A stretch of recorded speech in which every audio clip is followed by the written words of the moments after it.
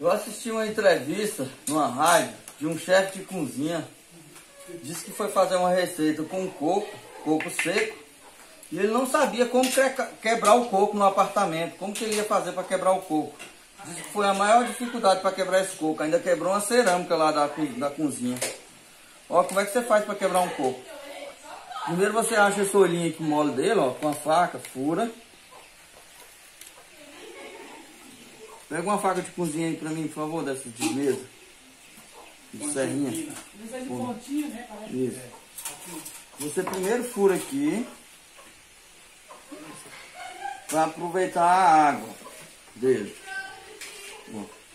Você furou aqui. Pra aproveitar a água. Aqui, ó. Aproveitar a água.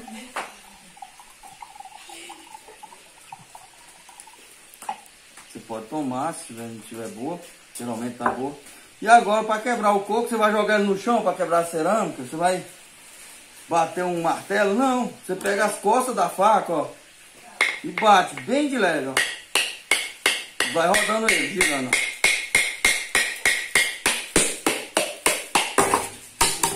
Pronto. Quebrou o coco. Coisa mais simples do mundo. Se quiser quebrar assim também, é mesma coisa, ó.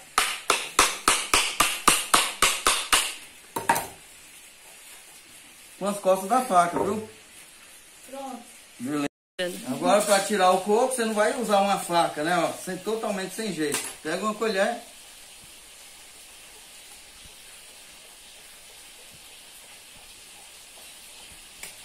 E ó, pronto. Vamos comer coco. Não corre